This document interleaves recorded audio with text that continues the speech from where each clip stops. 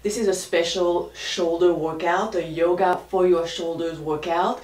We're gonna work on building strength, stability, flexibility. It's gonna not only help improve your posture, but also build the foundation for all of those of you who wants to go a bit further in your yoga practice. So whenever you start doing something that's more uh, technical and more intense and more advanced in yoga, you will have the foundations let's get ready. You're gonna need a block and a yoga strap. I'm Norkor Omaboe. If you like what I do, give me a thumb up and subscribe to my channel if you are new. Let's start uh, sitting up. You can be sitting up. I like to be on my knees, but if you prefer to sit up, you could even be um, standing or sitting on a chair. It's about kind of releasing the shoulders and I'm going to ask you now to let go of your shoulders. Invite you to close your eyes and just notice how your neck, your upper back, your shoulders are feeling. Take a deep breath into the nose and out. Again. And out. Hmm, blinking the eyes open. We're gonna come back to this slow breath whenever we feel burning in the shoulders, we feel tired, we want to give up, we come back to this breath. So um, let's start by squeezing the shoulders up and drop. Squeeze up and drop. Again, squeeze, squeeze, squeeze, and drop. One more. Let's warm up the shoulder joints. Hands on the shoulders we start by making circles with the elbows. Imagine you are drawing small circles with the elbows. And you want to pay close attention to how your shoulders are feeling. You may start noticing that they feel different. One feels different from the other. And then slowly making the circles bigger. And if you get to a place where you hear a click or a discomfort, you slow down and breathe into it. It's a good time to reconnect with the breath, inhaling slowly, exhaling slowly. See if you can bring your elbows together in front of you and close to the ears and up to the towards the ceiling, opening towards the back without pushing the chest forward, only the elbows moving backwards and down and back, pointing down, coming together, up, opening up. Keep going slowly, drawing big circles with the elbows. Let's reverse the circles.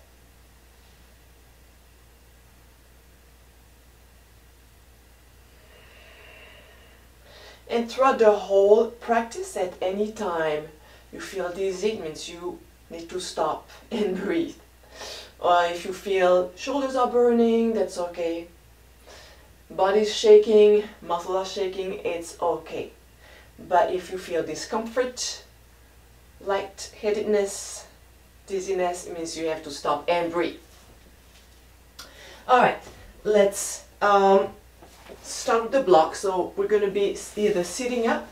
If you're not comfortable sitting up, you can sit on a block on a pillow. Or again, you can be on your knees.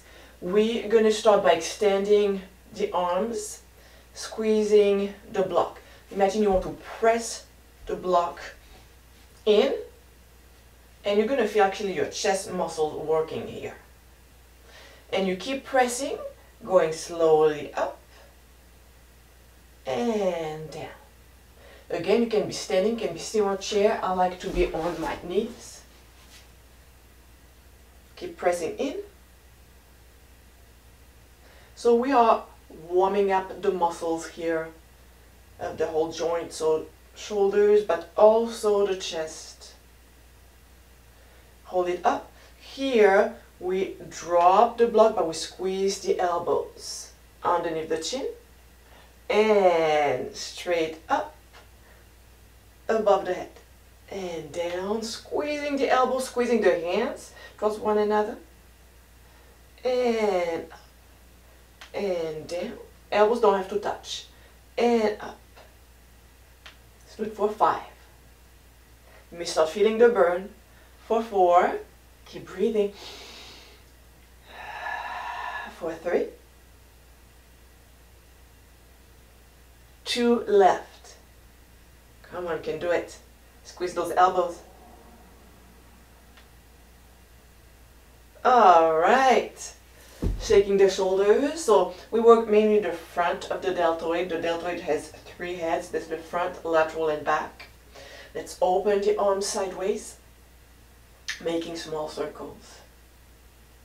Again, you can stand, you can sit on a chair, on the floor. May start feeling your shoulders burning a little bit. Reverse, making circles a bit bigger. Keep breathing. In those exercises, you can do them, um, let's say if you're watching TV, if you're zooming, you can do those exercises, a bit bigger circles, going backwards. Hold it here. Push the heels of the hands out. And flex here, palms in, and out, and in, and out. Again. And shake the shoulders. Alright, now we're going to do some protractions. So, one shoulder at a time first. From here, you want to pull your shoulder in and then push it forward. In and out. Chest, spine are not moving, just shoulder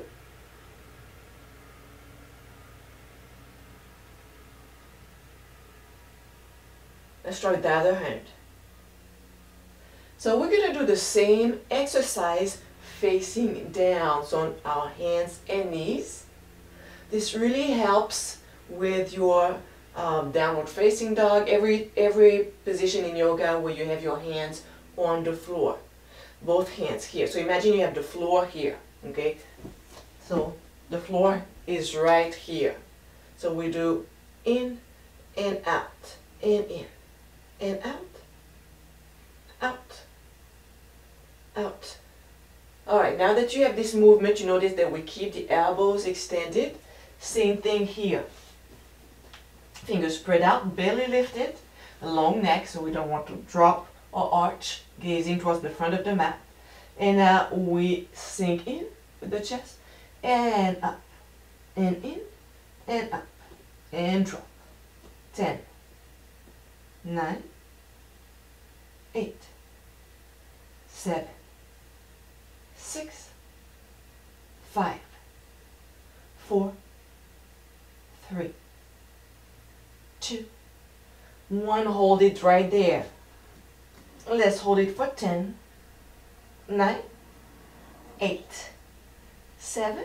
Keep holding as you're holding. Notice your elbows. Are they hyperextended with the elbow, the crease of the elbow pointing front? If so, make sure you rotate the elbows so that they face outside of your mat. Let's hold for four, for three, for two, for one.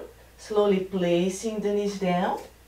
And we're going to place the block. If you don't have a block, uh, use a book. A book is fine too. And what we want to do is squeeze the block with the elbows, palm of the hands flat if it's uncomfortable on your wrist and you need to interlace the fingers, that's fine too. And we're gonna go into a plank, elbow plank, and squeeze those elbows, belly lifted. Let's hold for 10, for 9. We want to avoid sinking into the shoulders, so we press the elbows towards the earth. Six, five, four, three, two. One from here, we bring the hips up, shoulders back, and back down to center, and up, and down. Keep breathing. If your shoulders are burning, that's okay. Means that the muscles are working. You're building strength. Keep squeezing this block. Let's do four more. Three, two. Hold it back here. Keep the chest back as you walk the feet forward for 10, for 9. So this really is going to help not only strengthen your shoulders, stabilize the shoulder joint, making it stronger and less prone to injuries. But for those of you who are going deeper into your yoga practice, it's going to help with all your inversions. And down, child pose. In our child pose, what we want to do is lift the elbows, lift the wrist, and press the chest down. So we're stretching the shoulders right here. And we can sway side to side a little bit.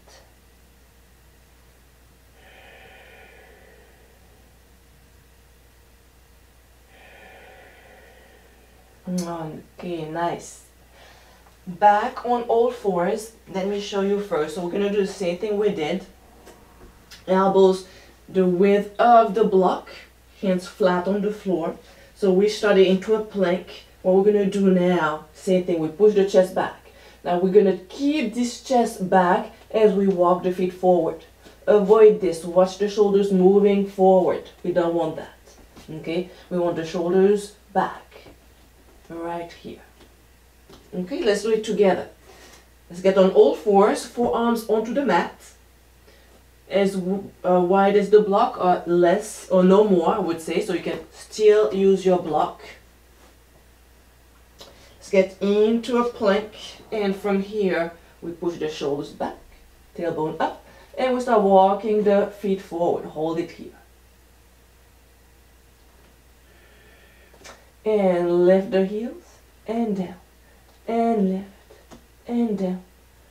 Five, four, three, two, one, knees down, right here. We're to stretch those shoulders with or without the strap. Let me show you with the strap. So we're to place the head down. And with your strap, or no straps, with the strap, bringing the arms up and wrists down towards the mat. Or without, you can interlace your fingers and right here.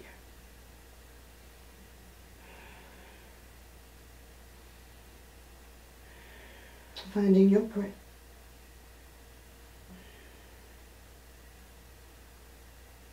Slowly releasing the arms, hands onto the floor. Nice. Let's go a bit deeper into our stretch for the shoulders. So we're going to be on our heels. If, if this is uncomfortable you can place one block two blocks even pillows to elevate the hips. So you can go even higher if it's more comfortable. And we're going to start in the center of the mat. Palm of the hand against the wall. Take a deep breath in as we exhale we start crawling the fingers up and notice when you start either rotating the chest out or to the side, it means that you're getting to your limit. You want to keep your center centered. Okay, so right here, I feel that I can still go a bit further, a little bit further back, and now I notice that I'm turning a little bit. So that's kind of my limit. Okay, so right here, and we're gonna hold it right here without pushing the chest forward.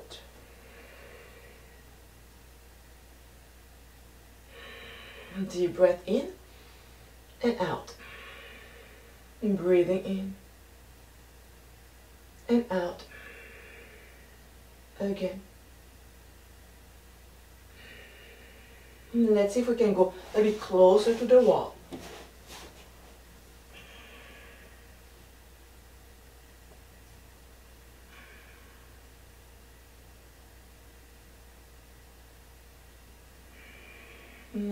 Walking the fingers forward. Let's switch sides. Starting in the center of the mat. Keeping the shoulders square, spine centered, Start by walking, crawling those fingers up. And you may notice one shoulder is different from the other. I dislocated my left shoulder at least three times so I can feel it right here. And if you feel that you start twisting the chest, bring your chest back. Maybe that's your limit. Should be slightly challenging, should not be painful. Deep breath in and out. Deep breath in and out. The next exhale, we're gonna scoop towards the wall. Big breath in. Exhaling, let's scoop. Breathing in and out and in and out.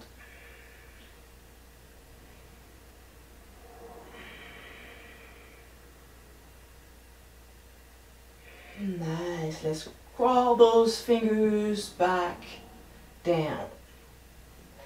Okay, the next one that we're gonna do, we can be on our knees, or wait, let's sit down actually.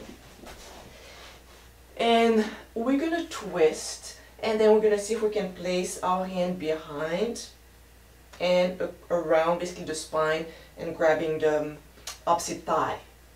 So what we're gonna do is hold our strap, okay, so with this hand. So let's start by placing one hand on the opposite knee. And this hand goes behind and maybe it's right here. You can bend the elbow. Okay, we twist first. And then we hold the twist and with the other hand, let's see if we can pull forward. If you can grab the wrist, you can pull the wrist forward. Then you can bring your chest back to center. And maybe it doesn't go all the way across. Maybe it's right here. Pull straight out. Okay? Let me show you from the back. So if I'm stuck here, I use the other hand and and I'm gonna pull to the side. And maybe afterwards we can go around.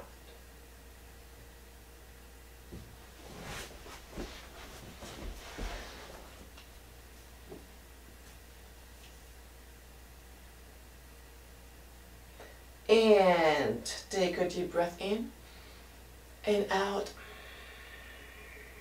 And one more. Very slowly releasing. Other side. Same thing, we're going to twist first, twist the spine. And maybe your hands can go all around across right away. Or maybe you hold the strap and pull sideways. And when you reach your limit, come back, center with the torso, keep pulling.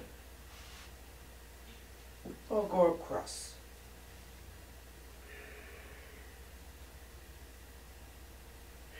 And breathing in and out. Two more. Last one. And slowly release shaking the shoulders, grabbing the strap, wide stance here. Earlier we had the block. Remember we started the block and asked you to squeeze in. We're doing the opposite.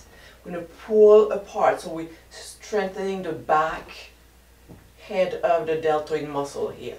So pull apart. Hold it right here. Slowly down as we inhale. We keep pulling the whole time. Exhaling, we come up. Inhaling down. Keep pulling apart. Exhaling up. Pull, pull, pull, pull. A few more.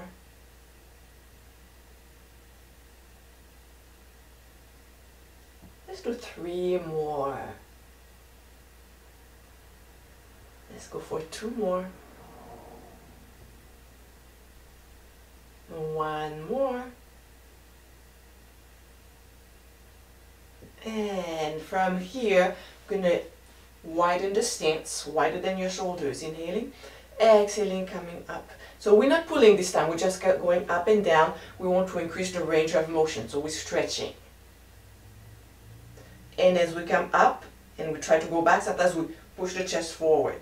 It's not the arms going back, it's just the chest going forward. So what we want to do is keep the center centered. Inhale down, exhale er up. Inhale down, exhale er up. Let's get a smaller stance, a stance a little bit, a, a smaller grip, grip a bit narrower, coming up here.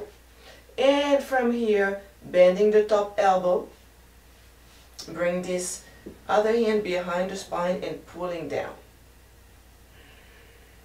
And as you notice, I'm gazing down because it's more comfortable on my top shoulder. If I want to go deep into the stretch, I bring my head up. And maybe your top elbow is behind your head or maybe it's next to your head. So if it's next to your head, see if you can bring it towards the back of the head. Slowly coming back up. Inhale. Exhale. Uh, Other side, same thing. Gazing straight up.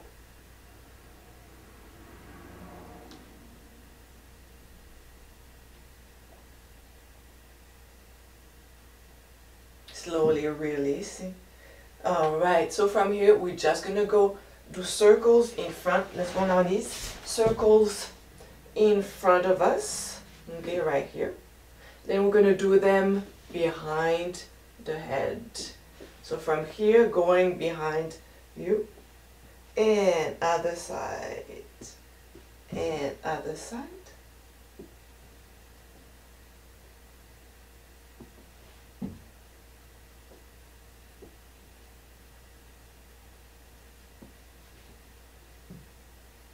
And releasing, stretching the neck. Let's close our eyes and notice how your shoulders are feeling compared to when you started the class. You should feel much more relaxed and warm and loose. Other side. I'm Gonna do one more stretch.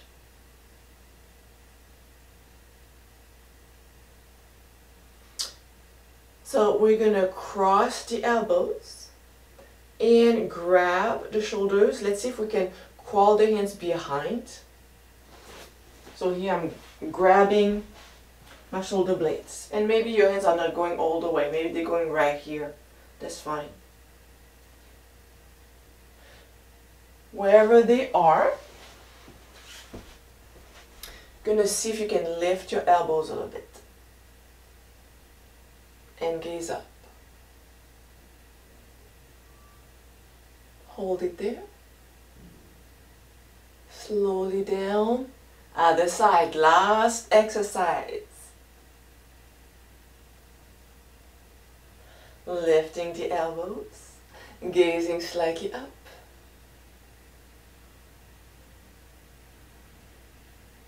Back to center.